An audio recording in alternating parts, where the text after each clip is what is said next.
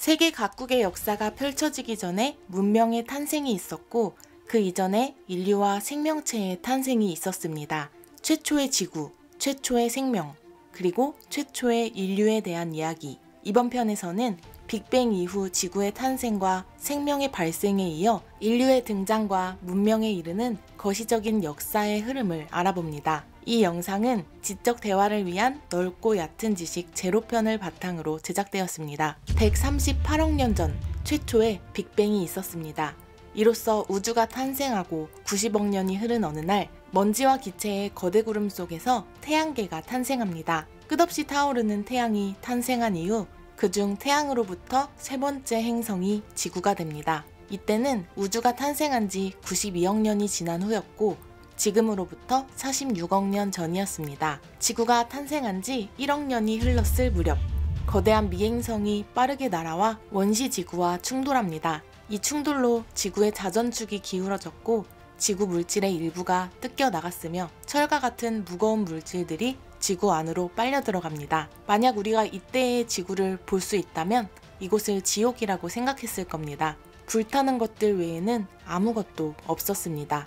지구는 뜨거웠고 화산 활동이 활발하다가 시간이 흘러 안정되자 멘틀과 지각이 형성됩니다. 물은 대부분 기체로 존재했으나 지형에 따라 지대가 낮고 온도가 낮은 곳에선 액체 상태로 고였습니다.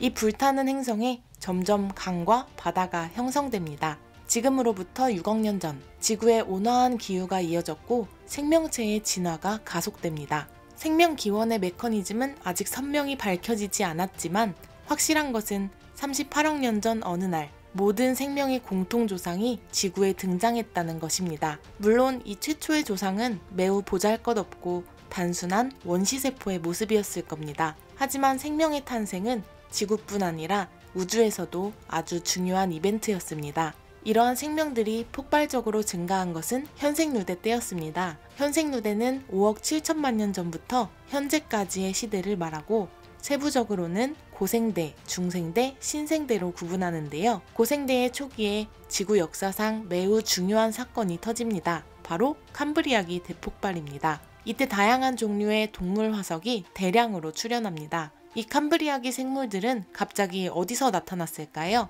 이 생물들의 선조가 되는 생물을 찾을 수가 없었고 찰스 다윈도 이 문제를 잘 알고 있었습니다. 생물이 갑자기 폭발적으로 등장했다는 것은 점진적인 진화를 말하는 진화론보다 신의 개입으로 하루아침에 만들어졌다는 창조론의 설명에 더 들어맞기까지 합니다.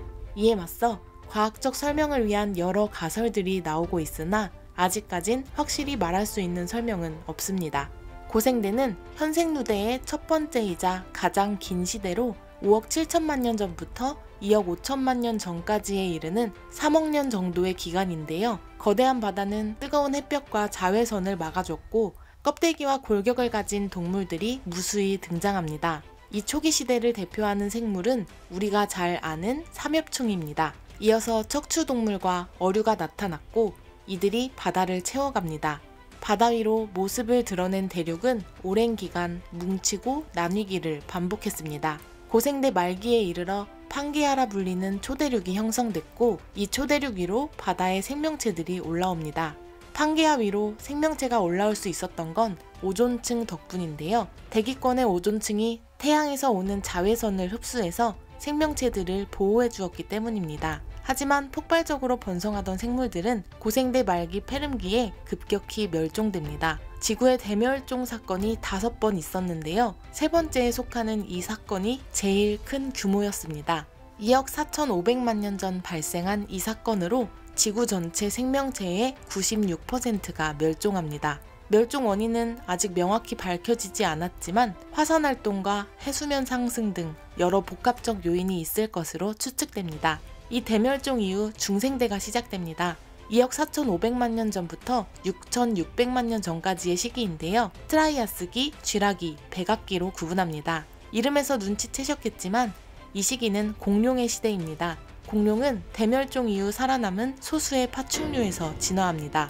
1억 8천만 년 전 무렵엔 판게아가 나눠집니다. 북반구에는 유럽과 러시아, 아시아 대륙에 해당하는 로라시아 대륙, 남반구에는 현재의 아프리카, 남아메리카, 인도반도, 호주와 남극에 해당하는 곤드나와 대륙이 자리 잡습니다. 6,600만 년 전 중생대 마지막 시기엔 현재의 멕시코 유카탄 부근에 거대한 운석이 떨어집니다.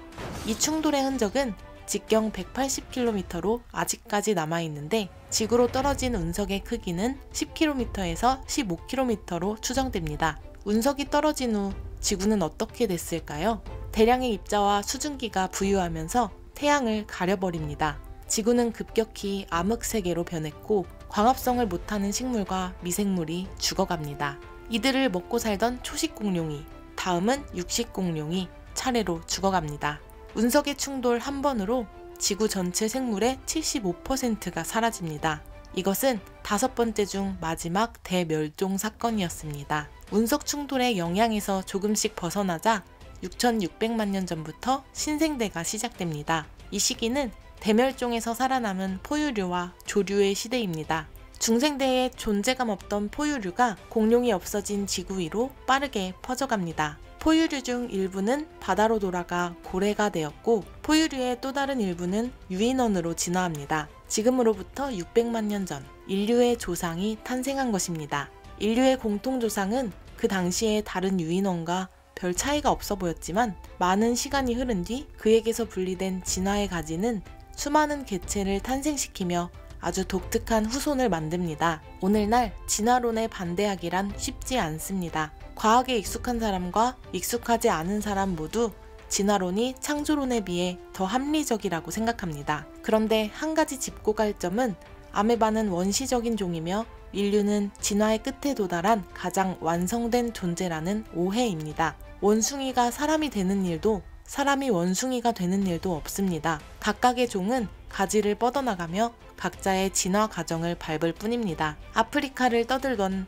보통의 유인원 무리 중에는 다른 유인원들과 그닥 달라 보이지 않는 한 개체가 있었습니다. 이 개체는 먼 미래에 인간과 침팬지의 공통 조상이 될 존재였습니다. 실제로 침팬지와 인간의 DNA 염기 서열이 97% 일치한다는 것은 널리 알려진 사실이며 둘은 집단 생활 등의 비슷한 사회성을 지닙니다. 인류는 이 공통 조상으로부터 아주 천천히 진화의 가지를 분리해 나갑니다. 가장 오래되고 원시적인 인류인 오스트랄로피테쿠스는 지금으로부터 300만 년 전에 등장했고 50만 년 전까지 아프리카 대륙에 서식했습니다. 이들은 오늘날의 인간과 원숭이의 중간 정도의 외모였고 지능이 높고 엄지손가락이 발달해 단순한 도구를 만들어서 씁니다. 150만 년 전 두 번째 인류인 호모 에렉투스가 등장합니다. 이들에 이르러 직립 자세가 거의 완성됩니다. 오스트랄로피테쿠스에 비해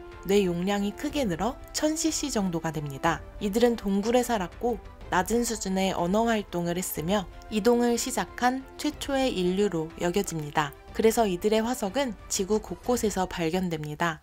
호모 에렉투스의 선조들은 일상적으로 요리를 하면서 흡수율이 높은 음식물을 만들어 먹었고 이것은 인류가 큰 뇌를 가질 수 있는 토대를 제공해 줍니다.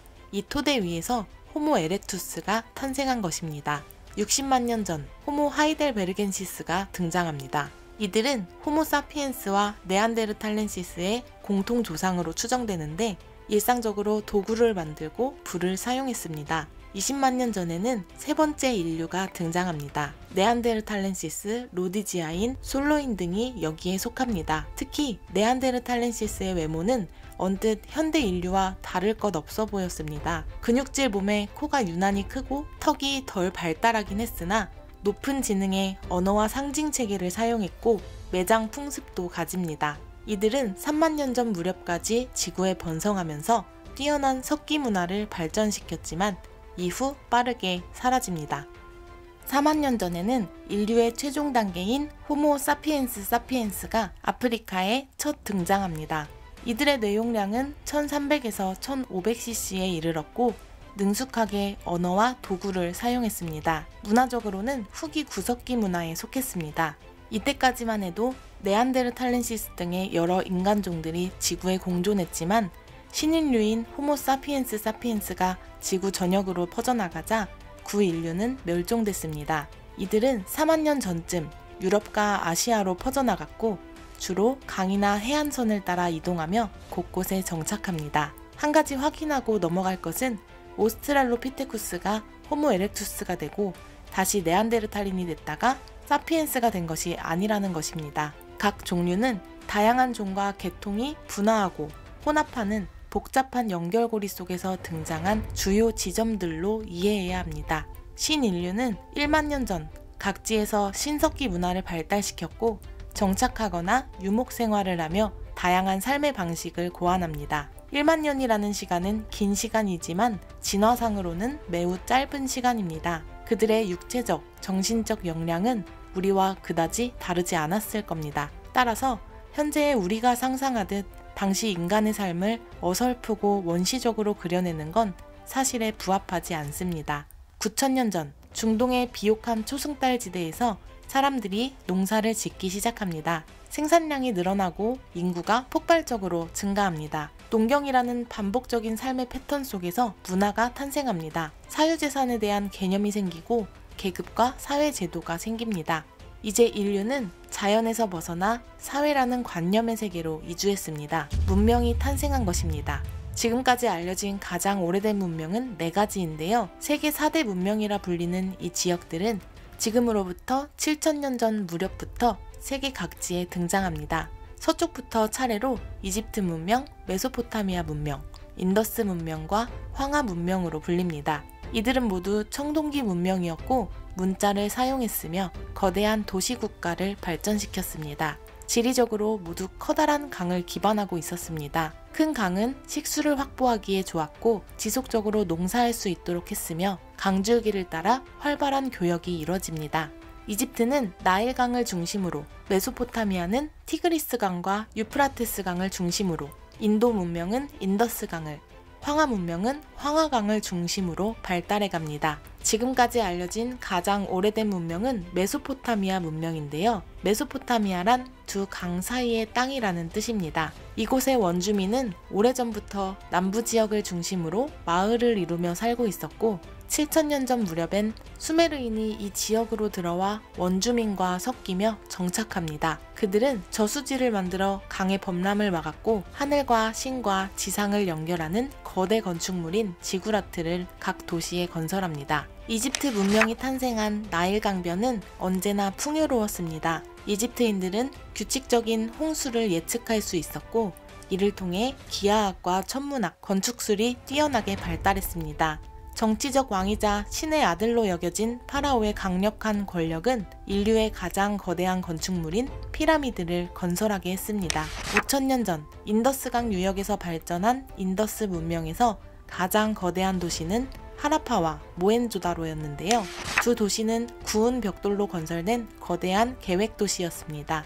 인더스 문명은 바다를 통해 메소포타미아와 활발히 교류하면서 다양한 종족의 사람이 어울려 사는 국제도시의 면모를 보입니다. 하지만 이 활력 넘치는 도시들은 지금으로부터 4천년 전 무렵 서쪽에서 들어온 아리아인에 의해 멸망합니다. 아리아인은 원주민들을 정복하고 정착해서 자신들의 종교적, 철학적 경전인 배달을 전파했습니다. 마지막으로 동아시아의 황하 문명은 약 4천년 전 황하강 유역에서 형성됩니다. 이 지역 사람들은 조와 수수를 재배했고 개나 돼지와 같은 가축을 사육했습니다. 작은 촌락과 마을 중엔 도시국가로 성장하는 지역도 있었습니다. 가장 오래된 왕조는 황하 문명 초기에 발생했을 것으로 추정되는 전설 속의 하 왕조입니다.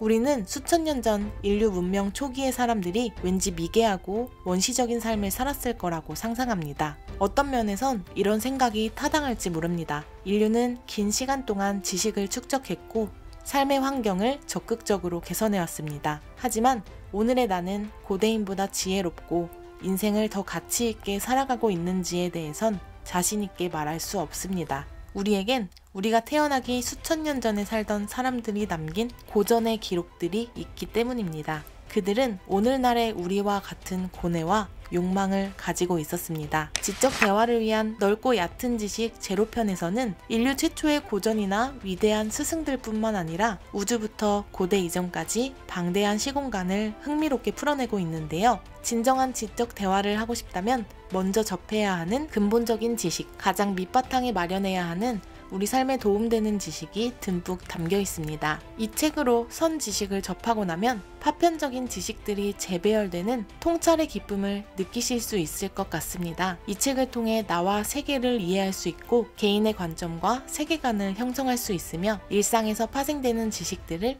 주체적으로 이해할 수 있게 됩니다. 나와 나를 이루고 있는 세계를 제대로 이해하고 더 나은 나, 더 나은 삶이라는 지식의 궁극적인 목표를 달성하고 싶은 분들께 지대널리앗 제로편을 읽어보실 것을 권해드립니다. 구독과 댓글은 영상 제작에 큰 힘이 됩니다. 감사합니다.